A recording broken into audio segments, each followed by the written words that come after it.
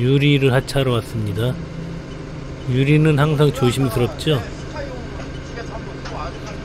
물론 그 유리는 그 전용 다이가 있어요. 거기에 단단히 결석시켜서 오긴 하는데 그래도 유리라는 거는 충격을 받게 되면 깨지게 돼 있잖아요.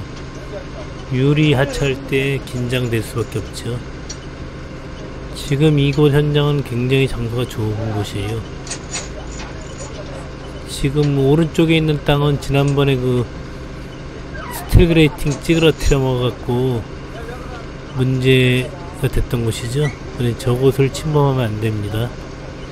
여기가 지금 한적한 도로 같은데 역시나 작업을 하기 시작하면은 차들이 엄청 많이 다녀요.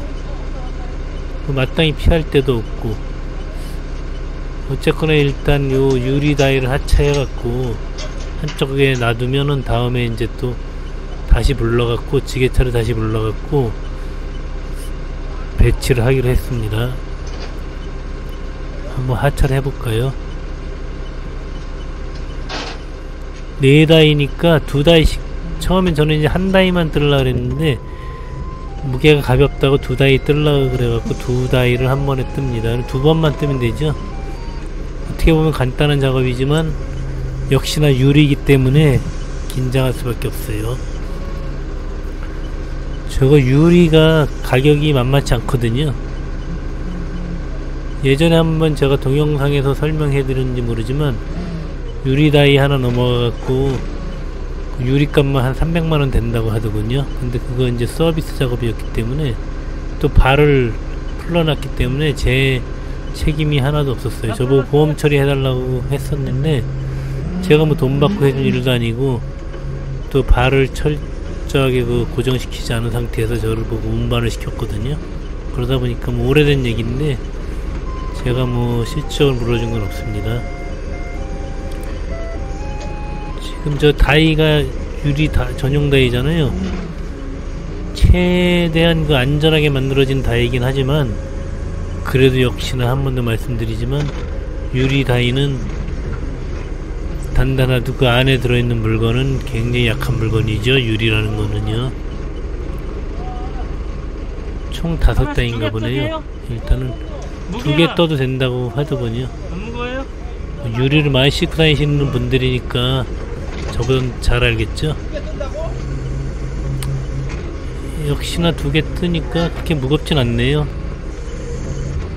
유리가 양이 많 긴 한데 크기가 작아갖고 그만큼 이제 또 무게가 가벼운 거죠. 두 개 들어도 아무런 무리가 없습니다. 요거 작업하는 동안만큼만이라도 차가 안 왔으면 좋겠어요. 요거 10분도 안 걸리는 작업인데 아직까지는 이제 지나가는 차가 안 보이네요. 지금 오늘 이제 이 동영상 이거 이제 유리 와갖고 하차하는 영상을 올려드리는데 여기 현장에 유리 작업이 끝났습니다. 그래갖고선 지금은 이제 요 다음번에 올릴 거는 유리 다 이제 다시 이제 싣고 가야 될 거 아니에요. 그 상차하는 영상인데 그때는 조금 더 복잡합니다. 지금은 굉장히 한가한 거예요. 지금 이쪽 왼쪽이 이제 그 현장 건물인데 앞에도 지금 아무것도 없잖아요. 이 정도면은 작업하기가 굉장히 좀 수월한 거죠. 나중에 이제 그 상차하는 영상 보시면은 또 머릿속에 또 지진 나죠. 그거는 침착하게 하셔야 됩니다. 뭐 지게차 작업이라는 게 어느 것이나 마찬가지겠지만 특히나 이 유리는 정말 정말 침착하게 서두르지 말고 해야 돼요. 아차에서 유리가 깨지는 날이면 그 난감하지요. 총 다섯 다이네요. 역시나 이것도 가볍네요. 그래갖고 이것도 이제 두 개를 한 번에 뜨도록 하겠습니다.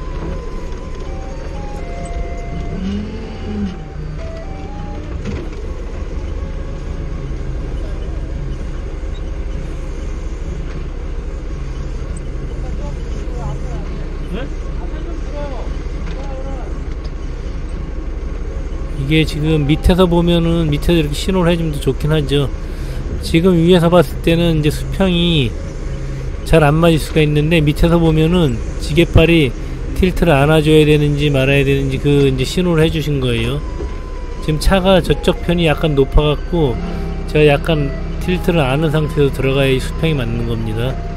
근데 이제 실질적으로 지게차 위에서는 그게 구분이 안 갈 때도 많이 있습니다. 그러다 보면 이제 그 다이 밑으로 파고 들어가면은 잘못하면 저 뒤에 다이는 뒤로 넘어갈 수가 있어요. 그 사이로 들어가야 되는데 그게 수평이 안 맞으면은 위험하다는 얘기죠.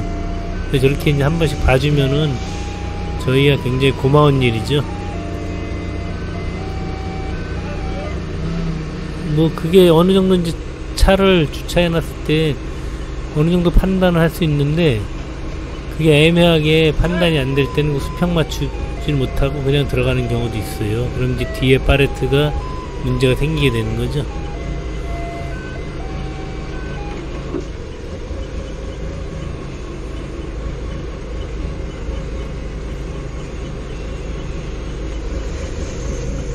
정말 유리 다이 작업은 해도 해도 긴장이 됩니다. 제일 긴장되는 작업이 이제 이 유리 다이하고 저는 이제 와인 창고 몇 군데가 있어요 이쪽 지역이에요. 그래서 이제 와인을 가끔씩 내려 다니는데 그 와인 파레트가 나무 파레트라서 또 나무 파레트에다 또 높이 돼 있습니다. 그리고 와인 자체도 충격을 주게 되면은 그 유리병이 깨질 수가 있어요. 그래서 이제 와인 파레트하고 이 유리 같은 거는 굉장히 긴장이 됩니다. 물론 뭐 지게차 작업이 뭐 쉬운 건 없죠. 이제 차 한 대 지나가네요. 오늘은 차가 지금 안 지나가는 거예요. 이 여기가 이제 출근 시간에 걸려버리면은 또는 이제 학생들 통학하는 시간에 걸리면은 여기 차가 어마어마하게 지나다닙니다. 바람 꽂으려면은 한참 기다려야 돼요. 한 달이죠? 하나지 하나. 혹시 이제 이런 데는 확인 사살 한번 해야죠. 이게 딱 한 달인지 두 달인지. 눈으로 봤을 땐한 달인데 뒤에 또 뭔가 있을 수도 있잖아요. 그때 이제 옆에서 보조해 주시는 그 화물차 사장님한테 한번 물어보면 되잖아요. 뭐 어려울 거 없잖아요. 물어보는 거. 자, 이제 마지막 다이 하차하고 있습니다.